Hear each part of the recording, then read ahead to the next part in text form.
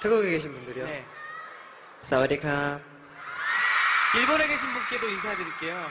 건방와. 중국에 계신 분에도 인사드릴게요. 따자하오. 말레이시아 계신 분에도 인사드릴게요. 아빠까빠. 네. 이탈리아 계신 분에도 인사드릴게요. 그라치에. 네, 이렇게 정말 이상한